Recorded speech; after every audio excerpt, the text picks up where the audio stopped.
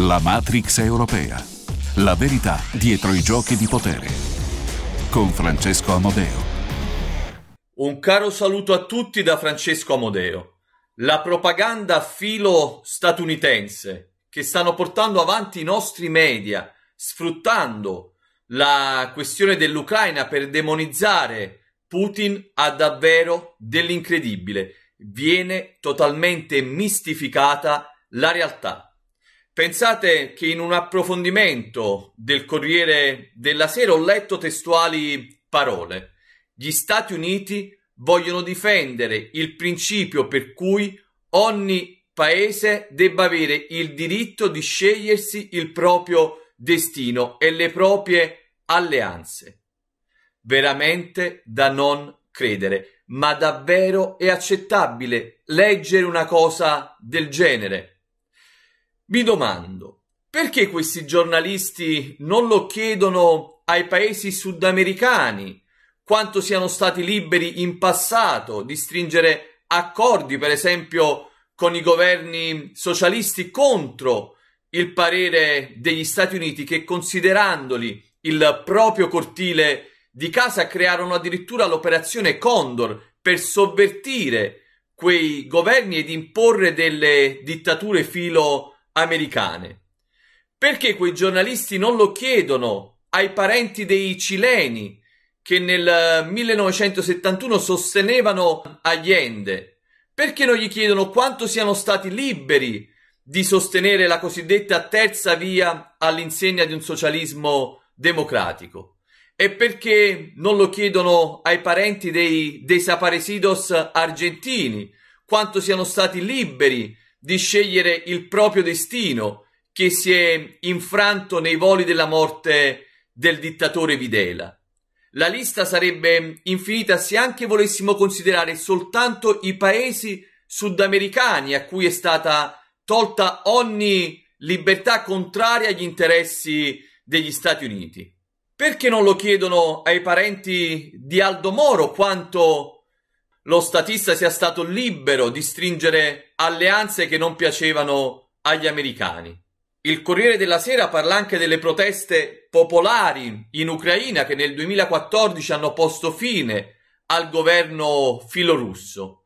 Perché però non racconta che quelle proteste di popolari avevano ben poco, dato che sono state finanziate dagli Stati Uniti con una grave ingerenza nella politica di un altro paese al fine di danneggiare la Russia. Gli stessi USA che dal 2014 hanno dato ben 3 miliardi di dollari all'Ucraina pur di utilizzarla per i propri scopi in funzione antirussa. Leggo nel medesimo articolo che l'amministrazione americana è costretta a suo malgrado a gestire uno scontro con Mosca. Suo malgrado. In realtà Putin nel 2021 ha presentato agli Stati Uniti e alla Nato una lista di richieste per tornare al dialogo. Chiedeva ovviamente di non mettere altre basi NATO ai suoi confini, di non pensare neanche lontanamente di far entrare l'Ucraina nell'alleanza atlantica, di smettere di armarla quell'Ucraina e anche di non trasferire armamenti nucleari nelle basi NATO dei paesi dell'ex Unione Sovietica. Ora queste vi sembrano richieste illegittime? Chiedetelo allora agli americani cosa fecero quando l'Unione Sovietica si sentì libera di stringere alleanza con Cuba e di piazzare sull'isola i propri missili. Gli americani si dissero pronti ad una guerra mondiale pur di non avere il nemico che piazzava armi ai suoi confini.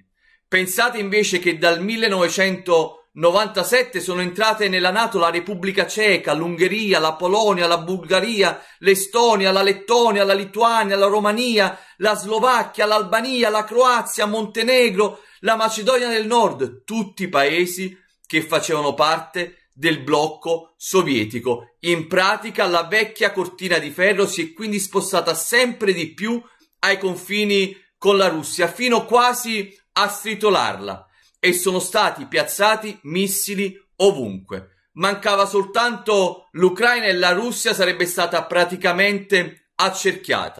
Perché gli USA non hanno evitato tutto questo? Perché l'Unione Europea non ha evitato tutto questo? Eppure Putin lo aveva avvertito Macron nel loro ultimo incontro. Ora vedo tutti meravigliarsi del Donbass, ma nel Donbass c'è una guerra dal 2014. Sono otto anni che c'è una guerra a causa del fatto che l'Ucraina e la comunità internazionale non riconoscono l'indipendenza di quelle due repubbliche del Donbass e nessuno si è accorto che nelle milizie ucraine che combattono in Donbass ci sono tanti movimenti neonazisti. L'Europa questa volta non si indigna, gli Stati Uniti non si indignano.